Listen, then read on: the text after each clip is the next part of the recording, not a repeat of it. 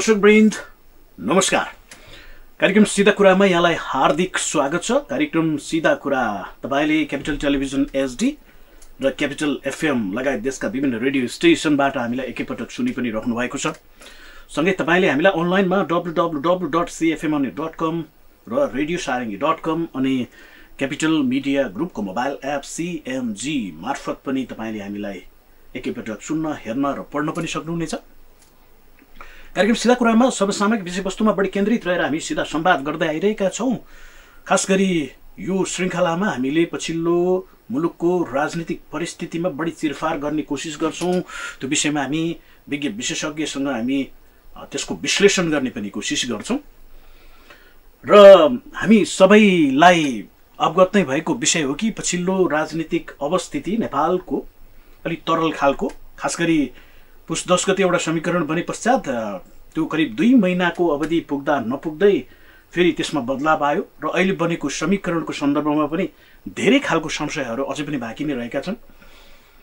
मुलुक कतातिर जाला अथवा यो समीकरणको भविष्यकै बारेमा पनि संशय गर्ने थुप्रै त्यस्ता बाटाहरू पनि रहेका छन्। यद्यपि राष्ट्रपति निर्वाचनको जुन निर्वाचन परिणाम आइसकेको छ र त्यो एउटा चाहिँ चरण पार भइसकेको छ। अबको दिनमा चाहिँ यो समीकरण के निरन्तर रूपमा अगाडि बढ्ला अथवा फेरि पनि बिचमा केही जटिलता सिर्जना होला अथवा नयाँ समीकरण बन्ला। प्रमुख प्रतिपक्षी भूमिकामा रहेको अहिले नेकपा एमाले एक खालको राष्ट्रिय अभियान चलाइरहेको छ।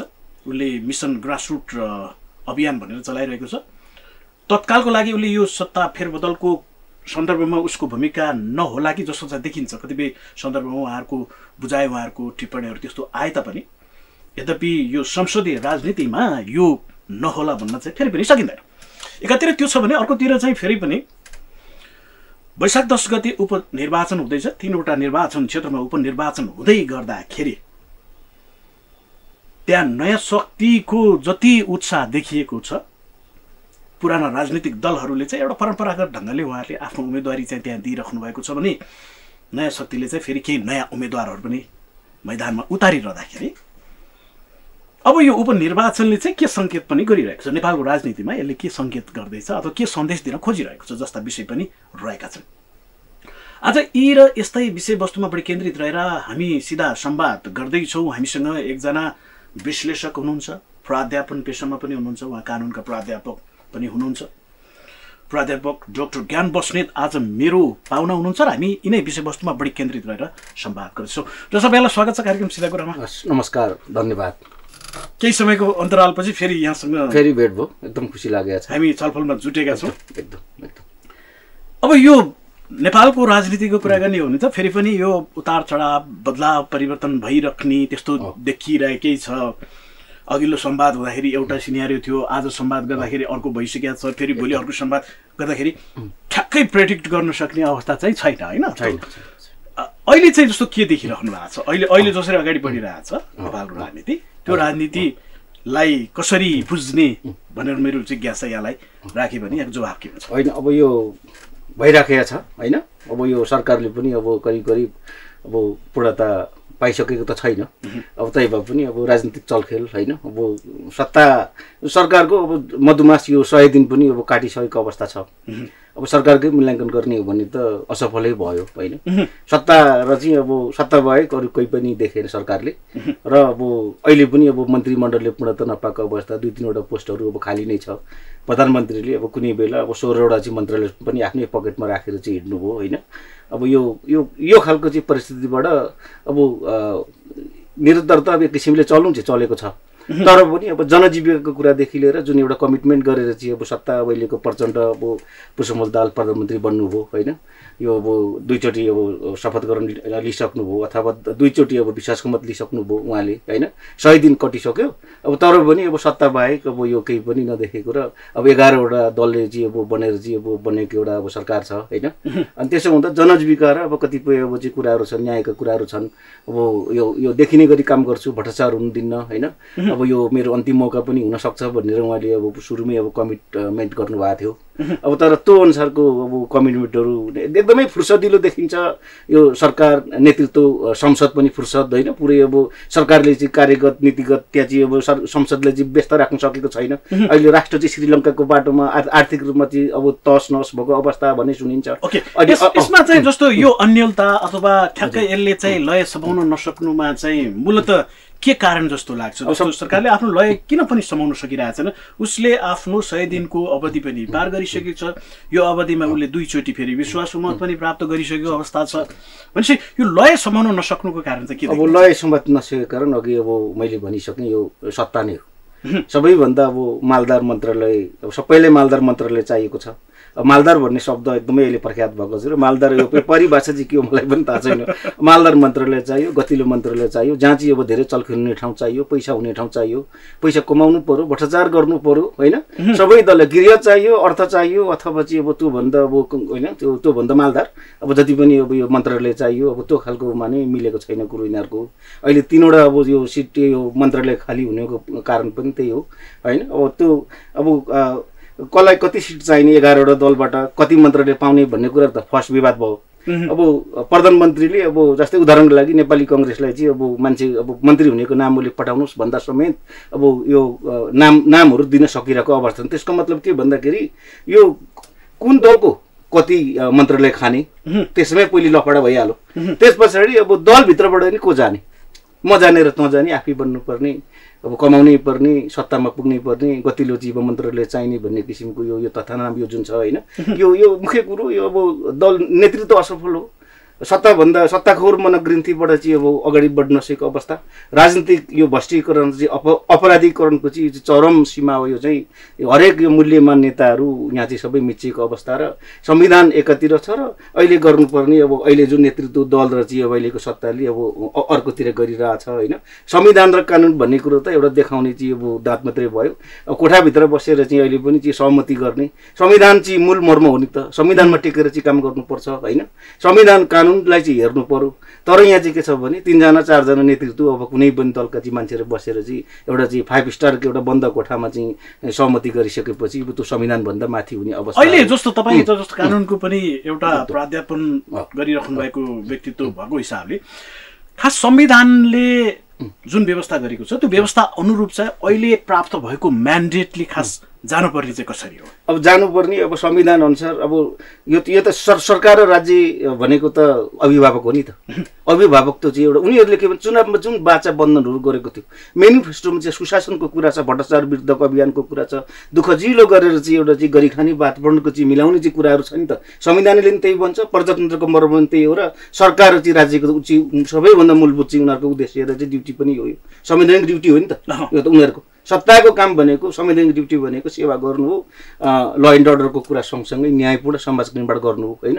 तर देश अब हरेक कोडबाट चाहिँ आन्दोलित छ अब होइन? अब यो किसानहरू त्यत्तिकै पीडित छ विद्यार्थीहरू चाहिँ पढ्ने पाठ्य पुस्तक पुगेको छैन सुत्खोर पीडितहरू त्यत्तिकै चाहिँ अब अन्यायमा परेर चाहिँ अब आन्दोलित हुनुपर्ने अवस्था वित्तीय संस्था लघु वित्त र चाहिँ अब ब्याङ्कहरू सारा चाहिँ अब यो चाहिँ भएको छ रकमी भएको अवस्थाहरू छ होइन? जनतालाई शोषित गरेको छ। सबैभन्दा ठुलो चाहिँ अब रकमी त राज्य नै भएको छ कि? राज्य।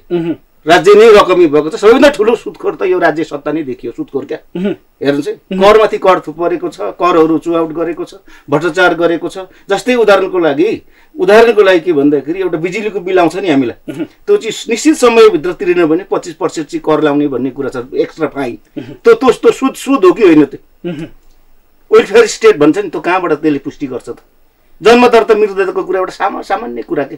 गाविसमा ओडा मोडा गर्नुपर्छ एक हजार दुई हजार रुपियाँ नियम एउटा तिर्नुपर्छ भनेपछि राज्यको अटोमेटिक ड्युटी हो त्यो चाहिँ गर्नुपर्ने। होइन? त्यसलाई चाहिँ राख्नुपर्ने दर्ता गर्नुपर्नेदेखि लिएर एउटा चाहिँ आलेख राख्नुपर्ने अभिलेख राख्नुपर्ने। यस्तै अब राज्य चाहिँ सबैभन्दा ठुलो सुत्खोर भयो कि भने यो अर्थमा।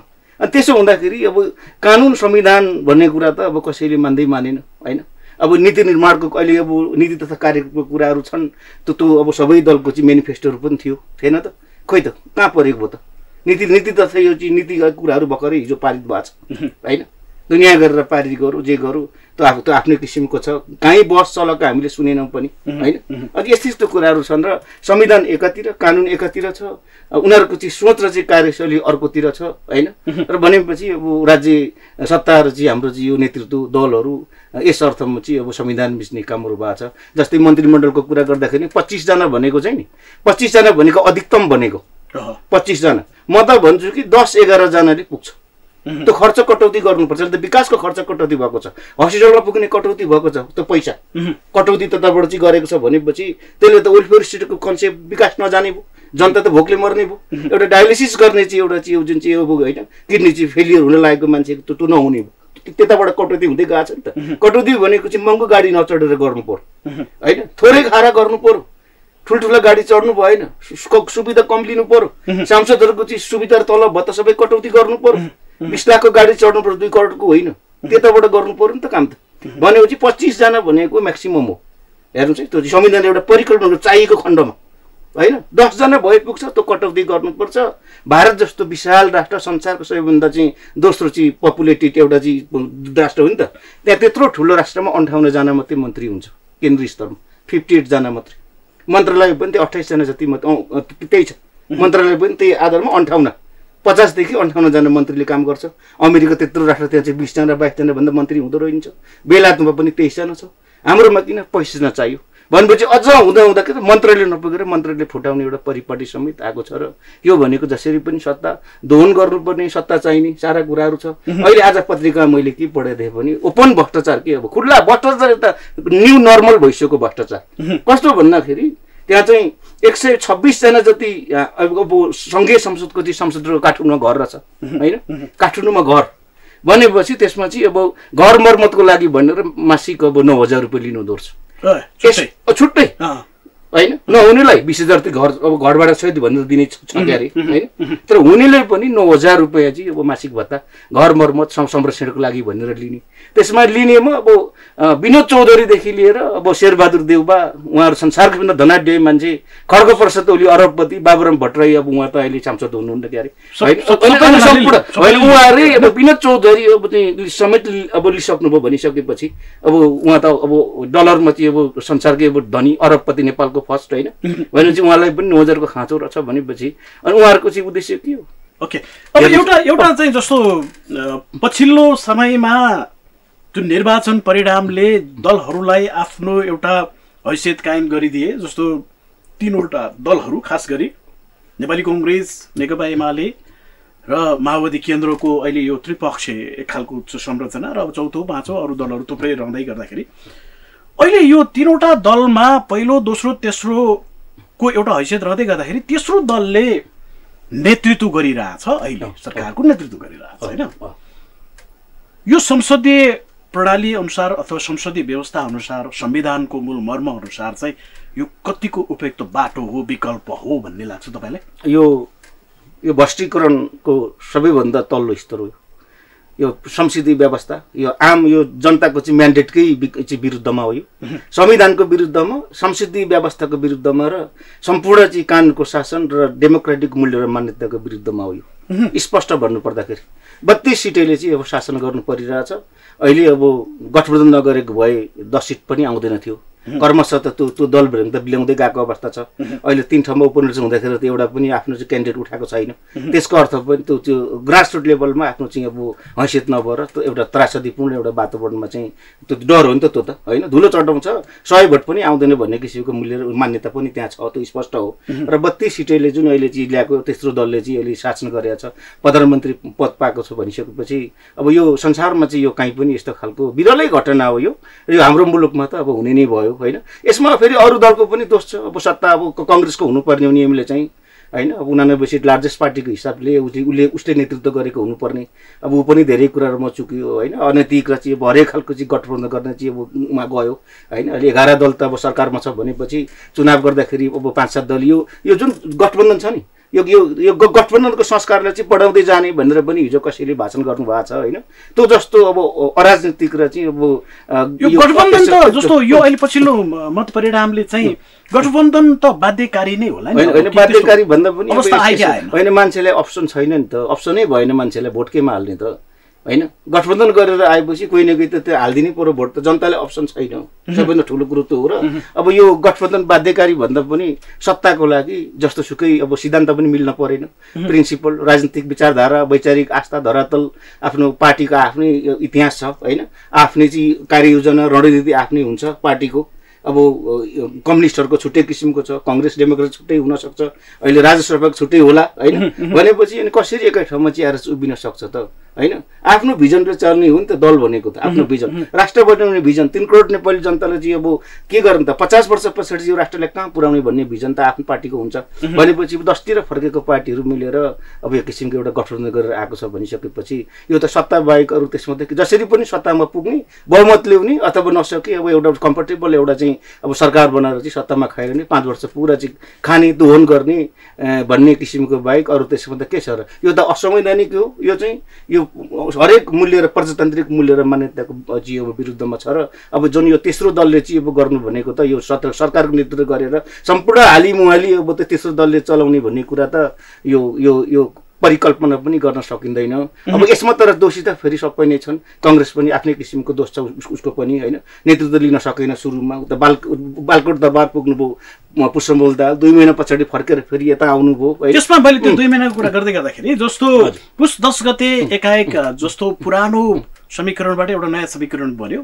बालकोटको नेतृत्वमा भनौँ अथवा नेकपा एमालेको नेतृत्वमा अथवा उहाँको संयोजनमा चाहिँ एउटा समीकरण बन्यो। त्यो समीकरण चाहिँ फेरि करिब करिब दुई महिना पुग्दा नपुग्दै फेरि भत्कियो होइन? त्यो नयाँ नयाँ सिराबाट फेरि सुरुवात भयो त्यसमा चाहिँ खास यो कारण चाहिँ के देख्नुहुन्छ? तपाईँ अब अब यो अब यो कारण भनेको सबैभन्दा ठुलो कुरो अब असुरक्षित होइन? अब यो पुष्पमल दाहालको आफ्नै बाध्यताहरू छन् होइन? पुष्पकमल दाहालले चाहिँ जस्तो केपी ओलीबाट चाहिँ उहाँ असुरक्षित किन महसुस। गर्नुभयो? एकदम। राष्ट्रपति पनि उतैको हुने सभामुख पनि उतैको हुने। अब हिजो नेकपाको चाहिँ सरकार हुँदाखेरि पनि धेरै पेलन परेको हुनसक्छ। होइन उहाँहरूको टुट्ने फुट्ने अब आफै सत्तामा हुनुपर्ने उहाँहरू त एमाले पनि अब सत्ता खोर्ने हो होइन?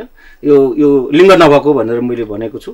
अब जतिसुकै भए पनि होइन अब ओलीजी त जस्तो अस्थिर अब खासै तात्विक भिन्नता छैन ओली र चाहिँ अब प्रचण्ड र देउबारमा त्यसमा यसमा यसमा तिन त्रिपक्षीय कुरा गर्दाखेरि चाहिँ तपाईँ कसरी विश्लेषण गर्नुहुन्छ कि जस्तो तिनजना? अहिले नेपालको मूल राजनीति यी तिन पक्षमा होइन जस्तो प्रचण्ड शेरबहादुर देउवा र केपी ओलीको बिचमा घुमिरहेको जस्तो देखिन्छ नि। देखिन्छ। यी तिन तिन पक्षको तपाईँले विशेषताको कुरा गर्ने हो भने एक्लै अर्कोलाई चाहिँ त्यहाँ लडाउन खोजिरहेको जस्तो सकेसम्म त्यो मात्रै देखिन्छ।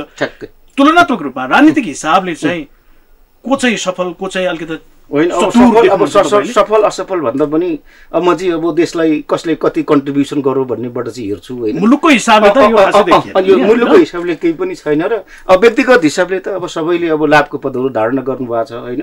बैसठी त्रिसठीदेखि अब प्रचण्डजी नै अब चाहिँ यो सत्ताको वरिपरि बिस वर्ष यो उदेखि अहिलेसम्म हुनुहुन्छ। ओलीजीले पनि अब धेरै नै खानुभयो परराष्ट्र मन्त्री बन्नुभयो गृहमन्त्री बन्नुभयो प्रधानमन्त्री खाइसक्नुभयो। अब नेकपा नेकपा एमालेको अब चाहिँ अध्यक्ष जस्तो पोस्टमा हुन्छ उहाँ एउटा वान मेन आर्मीको रूपमा हुनुहुन्छ। उहाँको विरुद्धमा बोल्ने कोही पनि छैन यो पार्टीभित्र र बाहिर कसैले पनि सक्दैन। पार्टीको कार्यकर्ता र नेतृत्वहरू त सबै अब चाहिँ अब डोमिन डोमिनेट गरिहाल्नु उहाँहरूको अर्को कुनै अस्तित्वै छैन होइन?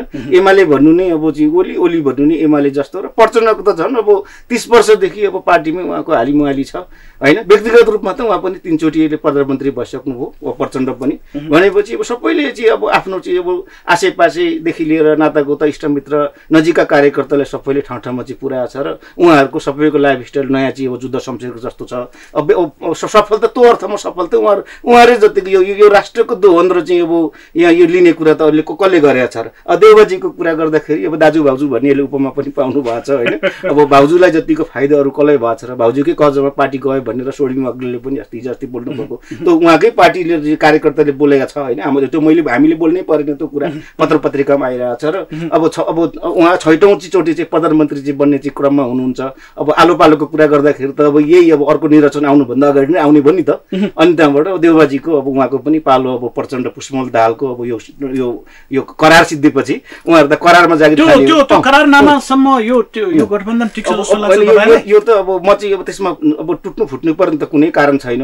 अहिले भनेको जस्तो विगतमा पनि जस्तो तत्कालीन अवस्थामा पनि पुस दस गते बनेको नेकपा एमाले सहितको बनेको गठबन्धन बिचैमा गएर चाहिँ फेरि त्यो टुक्रीको हिसाबले हेर्दाखेरि अहिलेको यो समीकरण पनि निरन्तर रूपमा अगाडि बढ्छ? निरन्तर निरन्तर रूपमा अगाडि बढ्नु कारण त केही पनि छैन दुई महिनाभित्रमै अब दुईचोटि शपथ ग्रहण लिइसक्नुभयो दुईचोटि विश्वासको मत लिइसक्नुभयो। फेरि पनि यो विश्वासको मत लिनुपर्ने अवस्था चाँडै नै आउला। एघारवटा दलहरू बनेकोले चाहिँ सरकार बनेको छ। संविधानमा के व्यवस्था छ भनेदेखि अब त्यो यो एक सय अडतिसभन्दा तल झर्दाखेरि चाहिँ लिन पर्ने हो वास्तवमा। होइन त्यो बहुमत नपुगेको खण्डमा चाहिँ आफूलाई पुष्टि गर्नुपर्ने हुनुपर्ने हो। त्यो चाहिँ प्राग्मेटिक हुन्थ्यो होइन।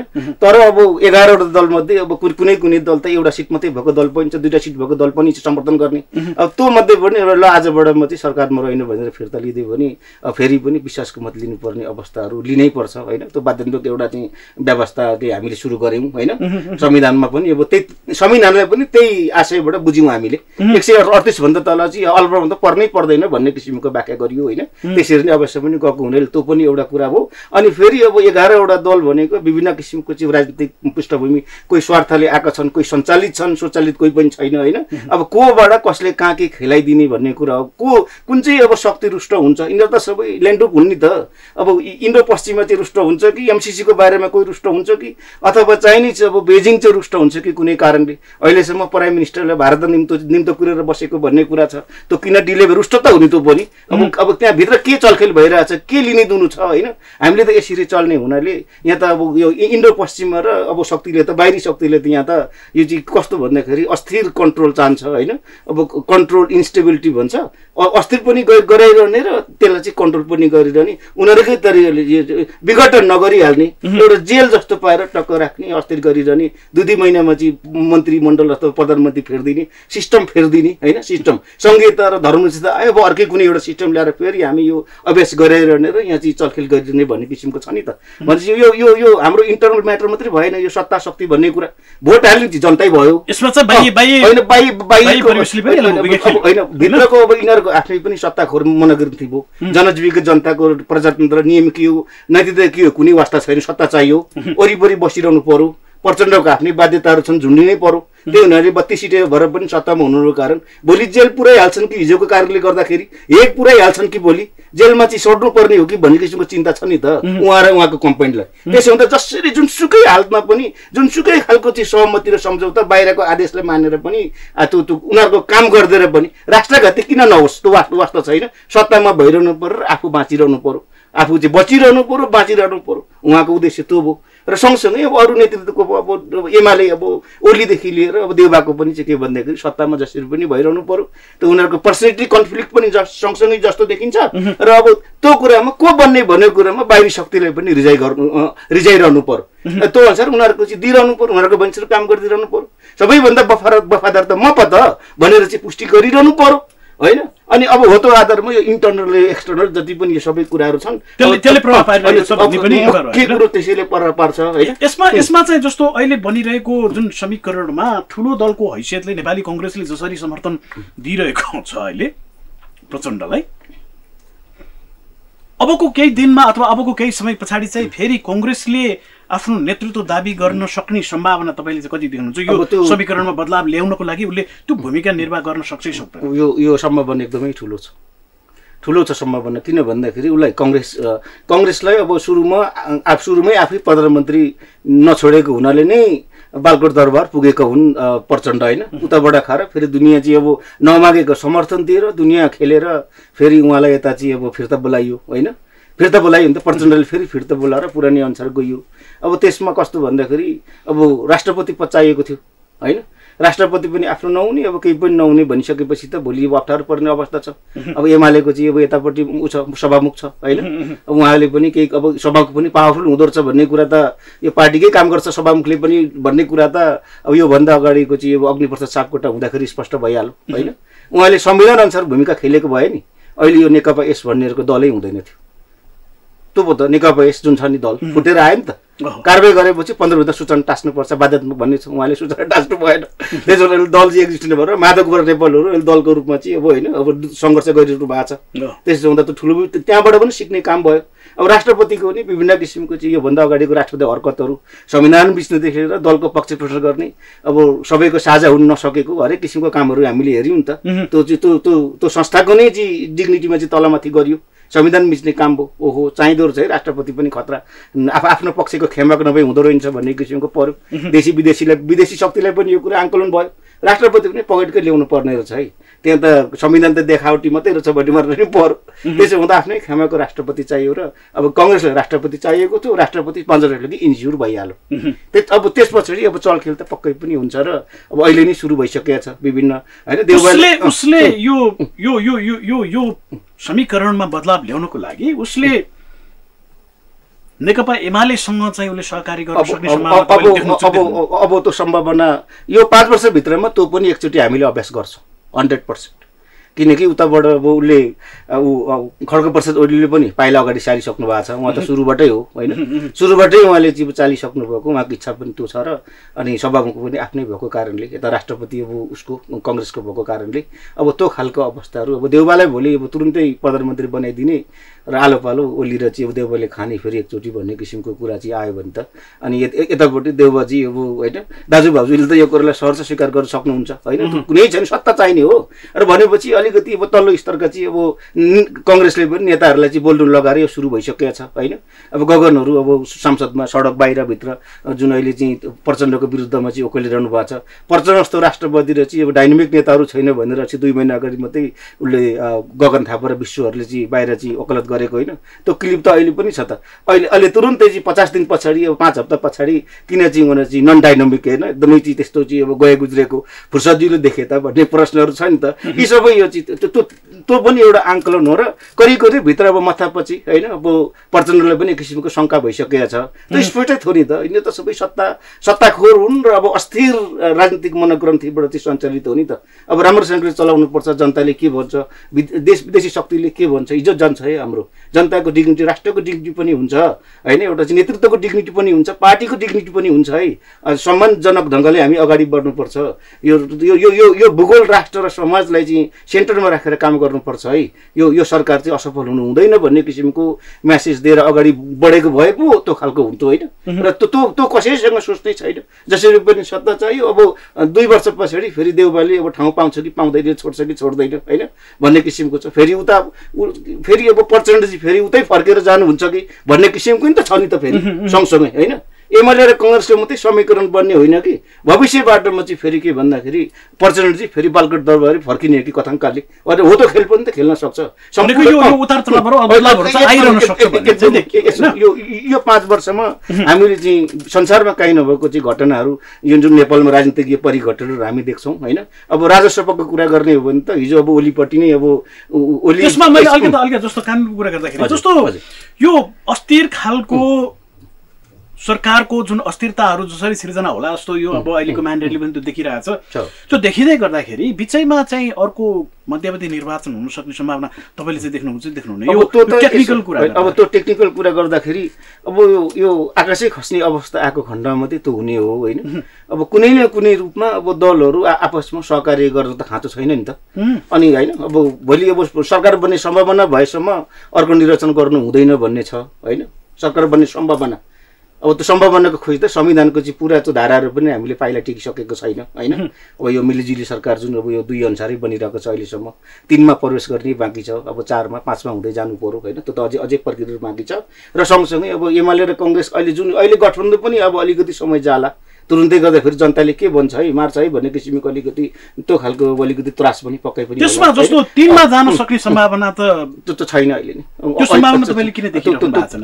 तिनमा यदि गयो भने जस्तो अहिलेकै सत्तामै रहेको नेपाली कङ्ग्रेसको पोल्टामा जाने होला नि त अब तिनमा गयो होइन अब हो त गरौँ भने त फेरि तिनमा पनि त फेरि अब त्यसमा विश्वासको मतका कुराहरू छन्। सारा त्यसमा पनि समीकरण नगरी त हुँदैन होइन? कि चाहिँ अब एमालेको लिनु पर्यो? अब कि चाहिँ अब अब अब यो गठबन्धन टुटेपछि अब बत्तिस सिटहरू त अब गइ नै हाल्ने त्यो प्रतिपक्ष रुष्ट भइहाल्ने त्यसो हुँदाखेरि त्यसमा पनि समीकरण बन्नु पर्यो। कि चाहिँ राजस्व राप्रपा सहितको केही एउटा टिम चाहिँ आउनु पर्यो ठुलो टिम ब्याकअप गर्नलाई। अब जसरी नै एक सय अडतिस त पुऱ्याउनु पर्यो नि त। अब तिन भनेको पनि फेरि त्यही त्यही अब भित्र चाहिँ अब चलखेल अब बन्द कोठाभित्रको सहमति बिना त चल्दैन। किनकि ब- एक महिनाभित्र विश्वासको मत लिने कुराहरू छन्। अब त्यसमा त एक सय अडतिस जसरी पनि पुऱ्याउनु पर्यो। कङ्ग्रेस मात्रै एक गरेर उनानब्बे मात्रै हुन्छ। भने चालिस पचास अरू सिटहरू पनि त्यति चाहियो होला होइन? अब त्यसमा अब एमाले होइन? अथवा चाहिँ राजस्व नपाएर अब यस्तै अब चाहिँ मसिनो अब पार्टी दलहरूले चाहिँ फेरि मिसाउनै पर्ने हुन्छ। अब अस्थिरता त सधैँ अस्थिरता हो होइन? पाँच वर्षसम्म नै अस्थिर हुन्छ भन्ने यो- यो- यो- होइन? यो यो हाम्रो यस्तो छ। पाँच वर्षसम्म मात्रै होइन कि? हाम्रो चाहिँ यो चाहिँ संविधान रहेसम्म र हाम्रो जुन निर्वाचन प्रणाली रहेसम्म यो हाम्रो यो चाहिँ मिलजुली सरकार जो कोलिसन गभर्मेन्ट जो आउँदैन। त्रिसङ्घको गभर्मेन्टको हाम्रो नियति बन्छ र अब यो यो पाटोमा चाहिँ एकदम गम्भीर रूपमा एउटा बहुमत बहुमती प्रणालीमा कसरी जाने होइन? एउटा दलले चाहिँ बहुमत ल्याउने परम्परा कसरी बसाल्ने? किनकि जनताले त गर्न सक्थ्यो। अब हामी पनि सोही विवेक हामी छैन एउटा दललाई दिनुपर्छ भन्ने मान्यता हुनुपर्ने हो नि त होइन? अब त्यो सोच पनि हामीसँग छैन। हामीसँग चेतना पनि छैन र हामी राजनीतिहरू पनि नेपाली जनता हामी पक्कै पनि कन्सियस छैनौँ। त्यो एउटा चाहिँ न्याय साँगुरो एउटा दलीय त्यो बक्स छ नि। दलीय घेराभन्दा बाहिर हामी नउत्रेसम्म। यो कि चाहिँ हामी उत्रिनु पर्यो। त्यो दलीय त्यो साँगुरो घेराबाट कि जनता भोटर्स नै कन्सियस भएर बाहिर निक्लिनु पर्यो बक्सबाट। होइन भने चाहिँ अब अब यथास्थितिमा चाहिँ यो सम्भव छैन र यो निर्वाचन प्रणालीदेखि लिएर सारा कुराहरू नै हामीले चाहिँ अब यसमा चाहिँ परिवर्तन गर्नुपर्छ। अहिलेको सत्ता सबैले सिभिल सोसाइटी दलहरू सबैले यसमा चाहिँ होइन त्यो त्यो स्वीकार गरेर यो फ्याक्टलाई स्वीकार गरेर अगाडि बढ्नुपर्छ। कि चाहिँ समानुपातिक प्रणाली हटाउनु पर्यो कि चाहिँ उता डाइरेक्ट प्रणाली एउटा सिस्टम मात्रै राख्नु पर्यो। समानुपातिक हटायो भने अब उता राष्ट्रिय सभामा अलिकति बढाउन सकिन्छ। होइन समावेशिताको कुराहरू अरू संवैधानिक आयोगहरू छ अङ्गहरू छन् अरू निकायमा चाहिँ त्यो समावेश गर्नु पर्यो। दलित र मुस्लिमका कुराहरूलाई त्यतातिर राख्नु पर्यो। अरू विभिन्न पार्टहरू छ नि त। यसमा यो गम्भीर विषयवस्तु लङ टर्ममा असर गर्ने विषयवस्तु भएको हुनाले यसमा चाहिँ एकदम वृहत स्टडी गरेर विज्ञहरूको सुझाव लिएर नेसनल इन्टरनेसनल चाहिँ प्र्याक्टिसलाई हेरेर अगाडि बढ्नुपर्छ। होइन भने हाम्रोमा सितिमिति यो चाहिँ त्रिसङ्घको यो गभर्मेन्ट यो यो- यो जहिले पनि आइरहेको अनि यो यो त यो यो हाम्रो एउटा- व्यवस्था संविधान रहेसम्म एउटा एउटा अर्को जिज्ञासा मलाई लागिरहेको जस्तो ल सङ्घमा चाहिँ एक खालको यो अस्थिर खालको जुन परिणाम आयो त्यो सङ्घमा चाहिँ जब यो सरकारको नेतृत्वमा जुन बदलाव आउँछ नि त्यसको बाछिटा चाहिँ फेरि प्रदेशमा परिरहेको जस्तो देखियो होइन? तिनवटा संरचना छ नि जस्तो हाम्रो स्थानीय तह चाहिँ बरु त्यसमा खासै बदलाव आइरह आउँदैन किन त्यो संरचनागत हिसाबले जसले नेतृत्व गर्यो त्यो पाँच वर्षसम्म करिब निरन्तर रूपमा जान सक्ने देखियो। केन्द्रमा चाहिँ आएको जुन बदलावले प्रदेशमा चाहिँ पनि फेरि छिट्टै त्यही ढङ्गको प्रभाव पर्नु भनेको त फेरि यो प्रदेश र यसको चाहिँ जुन मूलभूत मान्यता अनुसारको यो अगाडि बढ्न सकेन भोलि त यो त झन् झन् खतरा जन्ने अवस्था पो रह्यो त। यो त छिटो छिटो परिवर्तन चाहिँ प्रदेशमा पनि भइराख्ने सङ्घमा पनि भइराख्ने भएपछि भोलि त यो संहिताको मर्म अनुसार चाहिँ अगाडि बढ्यो त भोलि त झन् यसले जटिल परिस्थिति पो सिर्जना गरिदिने सङ्घीयता त अब यो कामै नलाग्ने भइसक्यो।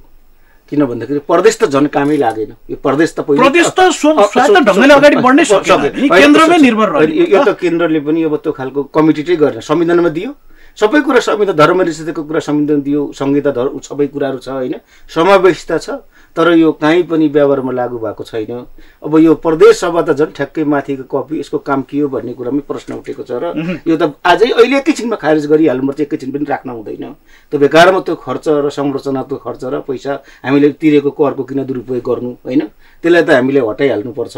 अब यो हिसाब किताबले यो संहिता नै हामीले चाहिँ काम छैन किन भन्छ भने अब स्थानीय निकायले सिंहदरबार चाहिँ स्थानीय उहाँ चाहिँ ठाउँ ठाउँमा सर्छ। अब केन्द्रको चाहिँ शासन चाहिँ उहाँ चाहिँ ट्रान्सफर होइन विकेन्द्रीकरण उहाँ जान्छ र घर घरमै सिंहदरबार पुग्छ है भन्ने किसिमको मान्यताबाट आएको हो नि त। अहिलेको संविधानको मूल्य चाहिँ त्यो समावेशिता हो होइन? अब पार्टिसिपेसन हो कन्सल्टेसन हो होइन? इम्पावर गर्ने र इन्क्लुसिभ एउटा सोसाइटीको परिकल्पना हो नि त। तर खोइ कहाँबाट देखियो त? अस्ति जस्तै सुत्खोर पीडितहरू कति एघार दिन चाहिँ हिँडेर चाहिँ उता कताबाट चाहिँ यता मधेसबाट चाहिँ यहाँ चाहिँ काठमाडौँ आइपुग्नु पऱ्यो लालटिन बालेर। भनेपछि त्यो- संहिताको एउटा उदाहरण। अब त्यो संहिता चाहिँ यदि सक्षम भइदिएको भए संहिता चाहिँ भ- भएको भए त हो त्यो कुरा त गाविसमै सिद्धिनु पर्थ्यो।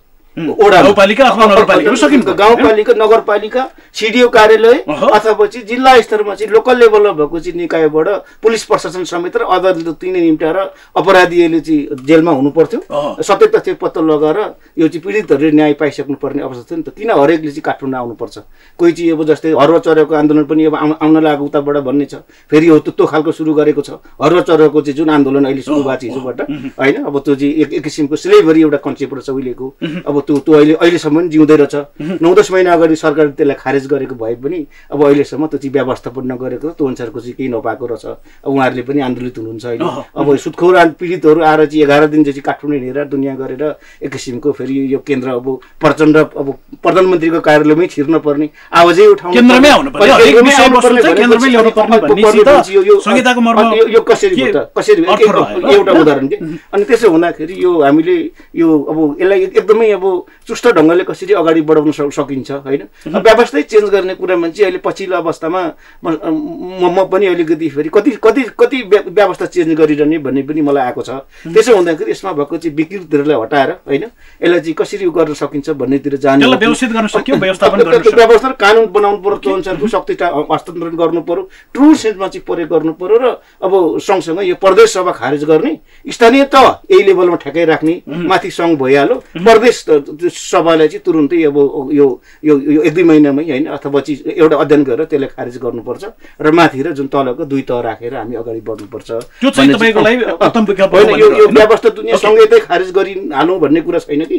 त्यसमा चाहिँ अब दुई तह राख्ने। होइन स्थानीय तहलाई अब अहिले जुन छ त्यही लेभलमा राख्ने यो यो यो बिचको तहको कुनै पनि काम भएन। तल भत्ता खुवाउने र राष्ट्रलाई चाहिँ जोगी बनाउने र झन् बिस खर्ब ऋण भएको मुलुकले होइन त्यो ऋण चाहिँ हामीले घटाउँदै जानुपर्छ र हाम्रो जीवन पद्धतिमै हामीले चाहिँ परिवर्तन गर्नुपर्छ होइन? भने अत्यन्तै विकराल अवस्थाहरू आउने चाहिँ मैले देखेको छु। ओके अब अलिकति यो अब दस गते उपनिर्वाचन हुँदैछ अलिकति त्यहाँ जोडिहालौँ। जस्तो यो उपनिर्वाचनमा चाहिँ सरस्वती यसको मनोविज्ञान अलि सरस्वती हेर्दाखेरि अहिलेसम्मको हेर्दाखेरि चाहिँ परम्परागत दलहरू चाहिँ रक्षात्मक अवस्थामा पो पुग्या हो कि जस्तो पो देखियो त।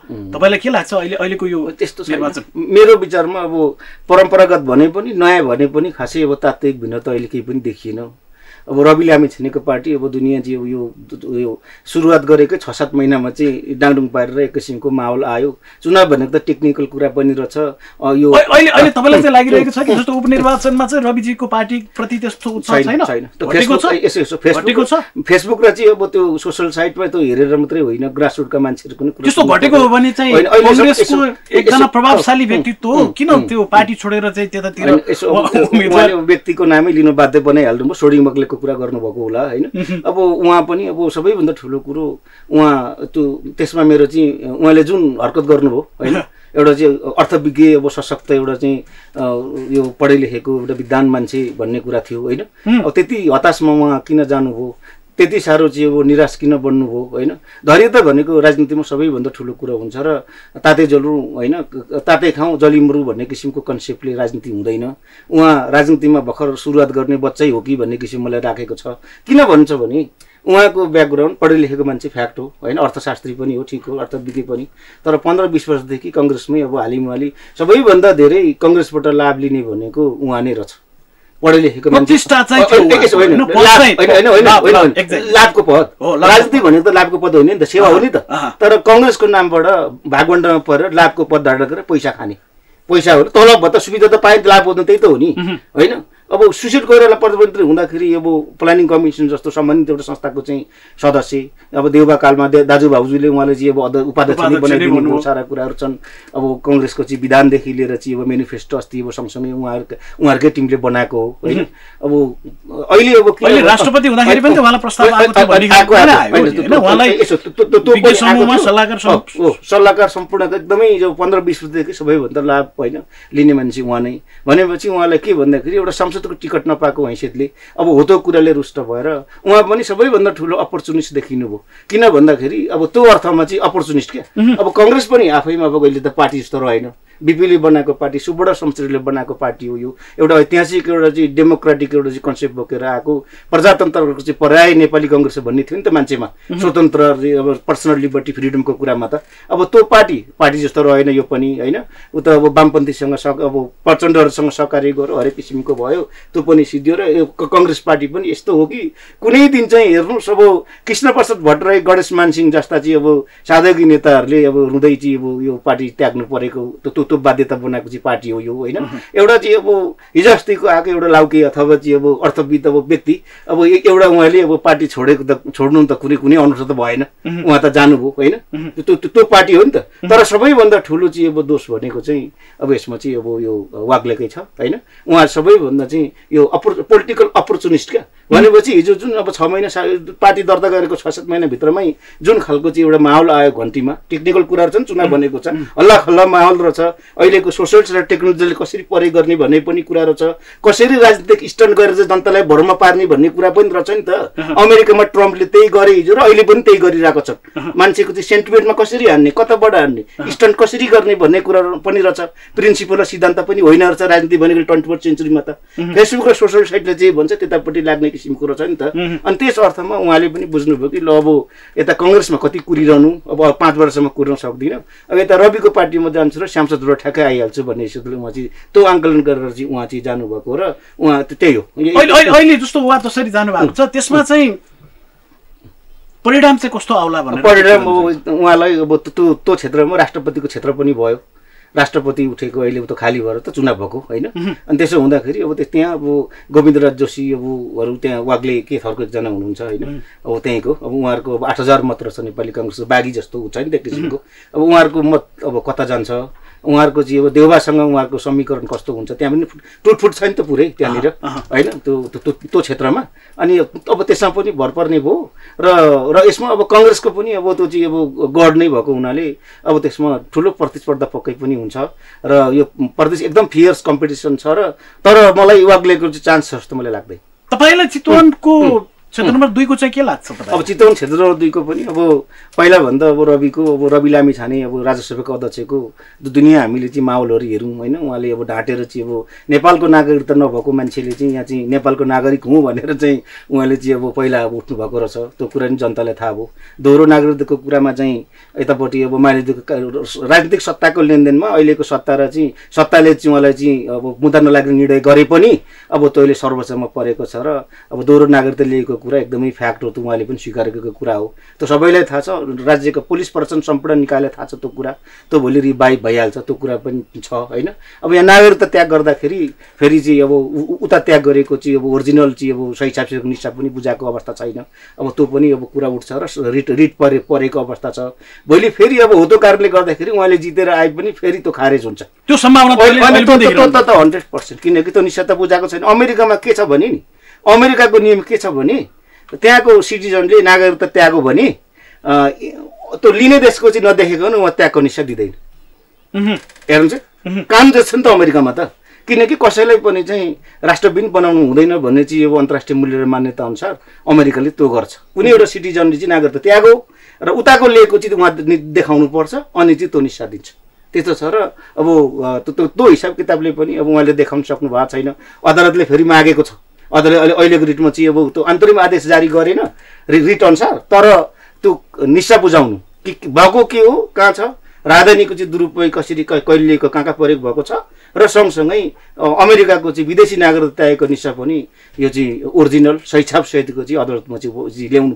भनेर चाहिँ अब आदेश गरेको छ होइन? अब त्यो आदेश अनुसार अब उहाँ माग्दै होलान् खोज्दै होलान् साथीहरूले। अब यो चाहिँ अब यो चाहिँ यो यो परराष्ट्र मन्त्रालयको रिक्वेस्ट अनुसार अनि त्यो चाहिँ अमेरिकाको चाहिँ एम्बेसी अथवा निकायले चाहिँ सैसाब गरेर दिएको कुरा चाहिँ ओरिजिनल हुन्छ त्यो चाहिँ फ्याक्ट हो होइन? अब त्यो खालको चाहिँ कुनै पनि चाहिँ डकुमेन्ट अहिलेसम्म नबुझाएको अवस्थाले अब यो कुरा त त्यहाँ चितवनको अब निर्वाचन क्षेत्रको चाहिँ उहाँको निर्वाचन क्षेत्रको बासिन्दा दाजुभाइ दिदीबहिनीले बुझ्नुभएको होला होइन? यो रविको मात्रै कुरा होइन नि त्यो त सिस्टमको कुरा हो। कोही कोही पनि कानुनभन्दा माथि चाहिँ हुनु हुँदैन।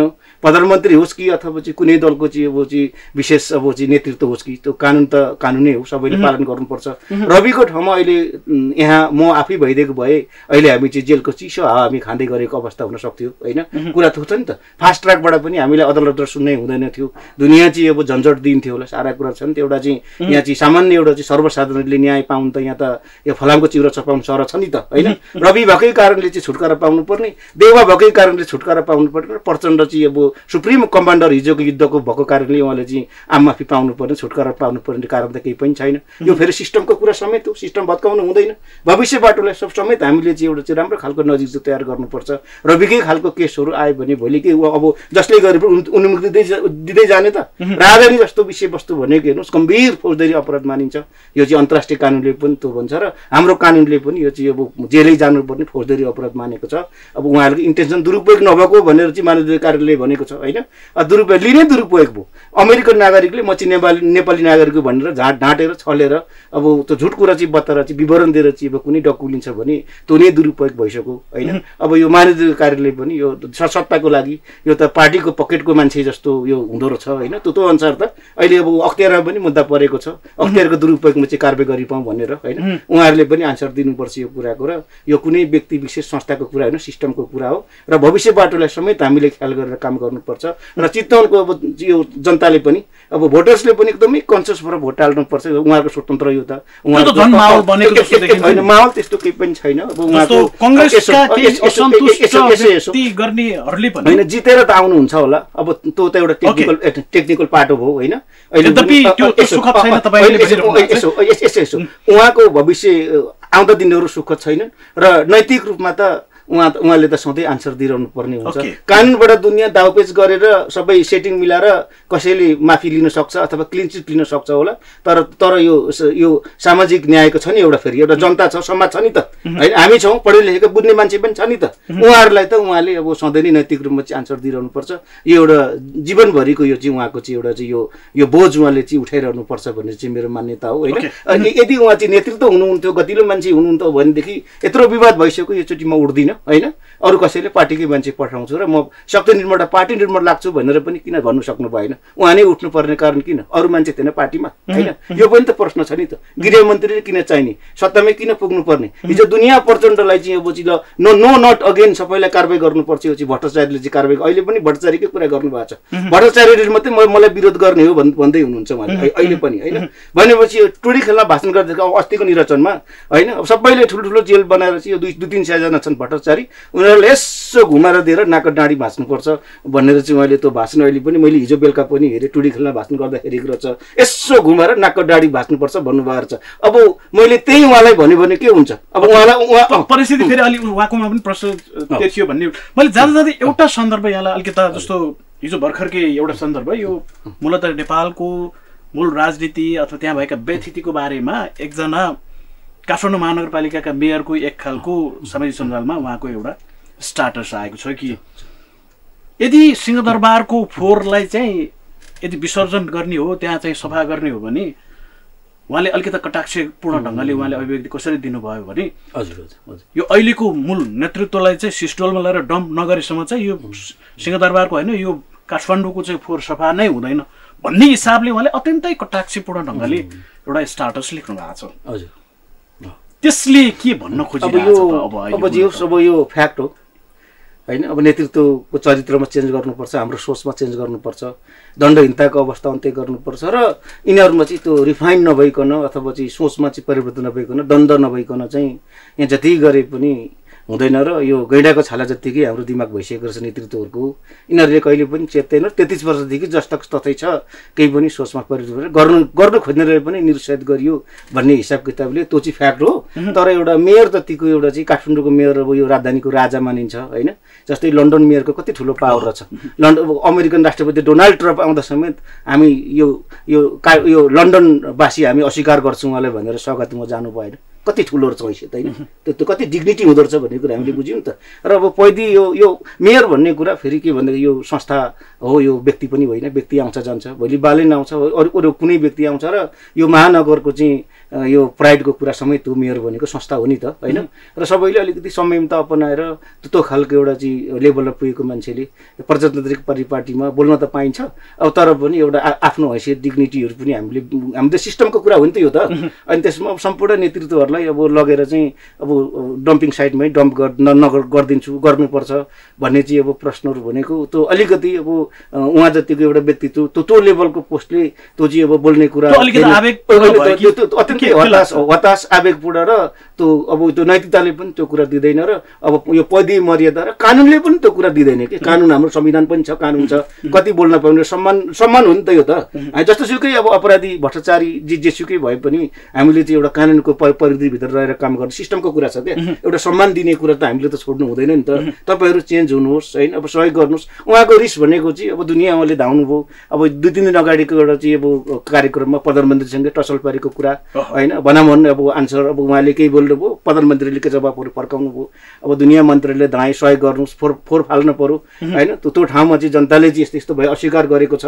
तपाईँहरूले सहयोग गर्नु भएन राजनीतिकरण गर्नुभयो र मलाई असहयोग गर्नुभयो र मलाई असफल गराउन चाहनुहुन्छ भन्ने उहाँहरूको पर्यो। त्यो सत्य कुरा पनि हो फेरि होइन? एउटा स्वतन्त्रले पार्टीले लाई पाइ खाइआएको हाम्रो चिजले खाइदियो भन्ने किसिमको अब पक्कै पनि यी नेतृत्व सबै दल हिजो एमाले सरकार हुँदा पनि अब ओलीहरूले बोलेकै हो होइन? महेश बस्ने जस्ता चाहिँ ओलीका चाहिँ अब दस्ताहरूले बोलेकै हुन् होइन? सँगसँगै माओवादीले त बोल्ने नै भयो र युद्धको धुङधङ्गी र एउटा पेलेरै अगाडि बढ्नुपर्छ। गनबाट चाहिँ कानुन शासन सुरु हुन्छ भन्ने किसिमको चाहिँ मन मनोगत उहाँहरू अहिलेसम्म त्यहाँबाट बाहिर आउनु भएको छैन। यो यो सत्य कुरा हो होइन? तर अब यसमा के भने बालनजीले पनि हर्क साम्पाङ भनौँ बालेन भनौँ होइन? अब त्यो पोस्टमा पुगेको एउटा मेयर जस्तो सम्मानित एउटा पोस्टको मान्छेहरूले अलिकति विचार गरेर त्यसलाई चाहिँ संयम त अपनाउनु पर्छ र संयमता चाहिँ सबैभन्दा ठुलो हुन्छ हामीले सिस्टम बसाउँदै जाने हो कोसिस गर्ने हो सङ्घर्ष गर्ने हो होइन? अब के कारणले भएन त भनेको काठमाडौँवासी जनताकोमा जाने पो त। यस्तो यस्तो कारणले मैले कोसिस गरेँ फोहोर फाल्ने प्रधानमन्त्रीको रिक्वेस्ट गरेँ गृहमन्त्रीसँग रिक्वेस्ट गरेँ। यो यो छ डकुमेन्ट यसरी गरेँ तर मैले ती साथ सहयोग भएन। त्यसो हुँदाखेरि म फेरि जनतामा आएँ। अब अब म अब तपाईँहरूले नि अब सडकमा आउने हो कि गर्ने हो? गरेर ठाउँ ठाउँमा चाहिँ अब त्यसलाई चाहिँ जनतामा जानु पऱ्यो कुरा राख्नु पऱ्यो सार्वजनिक सुनवाईको व्यवस्था अब अरू मेकानिजम छन् नि त। भनेपछि ट्विटर फेसबुकमै अब चाहिँ कुर्लिहाल्नु पर्ने दुनियाँ त होइन। अब त्यही पनि त्यसमा चाहिँ कस्तो भन्दाखेरि अलि- अलिकति होइन अब यो अमराधित भाषाहरू होइन? जति पनि छन् नि। अब हो त्यो त्यो कुरालाई चाहिँ म चाहिँ प्रश्रय दिन र अब उहाँले पनि संयम त अपनाउनु पर्छ र यो यो नगरको नगरवासीको र चाहिँ त्यो संस्था यो म यो यो मेयर पद भनेको संस्था नै हो व्यक्ति होइन र हो त्यो संस्थाको समय टिकनिटी काम गरेर उहाँले अघि बढ्नुपर्छ र पछिल्लो अवस्थामा उहाँलाई पनि यो यो मैले कहाँ लेखेको थिएँ यो रवि सिन्ड्रोम छ नि जुन ठुल्ठुलो कुरा गर्ने तर केही पनि नगर्ने भन्ने चाहिँ त्यो त्यसले उहाँलाई पनि छुइसकेको छ र अब योबाट चाहिँ उहाँले पनि मुक्त हुनुपर्छ र काम गरेर देखाउनु पर्यो र रवि होस् कि बालेन होस् कि हर्क होस् कि अरू कसै कोही होस् कि गफ गरेर होइन कि? काम गरेर आफूलाई प्रमाणित गर्नु पर्यो अब्बल साबित गर्नु पर्यो ताकि जनताले चाहिँ हाया गरेर अर्कोचोटि जाँदाखेरि चाहिँ निर्विरोध जस्तो चाहिँ आउन सकियोस् न। त्यो खालको परिपाटी हामीले विकास गर्नुपर्छ नेतृत्वले हुन्छ। हुन्छ यहाँलाई धेरै धेरै धन्यवाद। धेरै महत्त्वपूर्ण सन्दर्भमा हामीले कुराकानी गऱ्यौँ यहाँले महत्त्वपूर्ण समय दिनुभयो। यहाँको महत्त्वपूर्ण समय र संवादको निम्ति म यहाँलाई धेरै धेरै धन्यवाद धन्यवाद। थ्याङ्क यू भेरी मच दर्शकवृन्द आजको सिधा कुरामा हामीले धेरै पक्षमा चर्चा गर्ने कोसिस गर्यौँ। खास गरी पछिल्लो राजनीतिक घटनाक्रम बदलिएको राजनीतिक समीकरण दलहरूको समीकरण सरकार निर्माणको परिकल्पना र मूलत संविधानले व्यवस्था गरेको यो सङ्घीय संरचना निर्वाचन प्रणाली र यसले सिर्जना गरेका केही जटिल परिस्थितिहरू व्यवहारिक जटिलताहरू जुन जसरी सिर्जना हुन थालेको छ त्यसको बारेमा पनि हामीले समीक्षा गर्ने कोसिस गऱ्यौँ र पछिल्लो समयमा उपनिर्वाचनको सन्दर्भ रहँदै गर्दाखेरि उपनिर्वाचनले पनि एक खालको नयाँ सन्देश दिन सक्दछ र आगामी राजनीति नेपालको कतातिर उन्मुख होला भन्ने विषयमा बढी केन्द्रित रहेर आज हामीले सिधा संवाद गऱ्यौँ हामीसँग हुनुहुन्थ्यो एकजना विश्लेषक जो चाहिँ उहाँ कानुनका प्राध्यापक पनि हुनुहुन्छ प्राध्यापक डाक्टर ज्ञान बस्नेत आज मेरो पाहुना हुनुहुन्थ्यो। आजको सिधा कुरा यति नै। सिधा कुराबाट हामी सबैलाई बिदा दिनुहोस्। नमस्कार।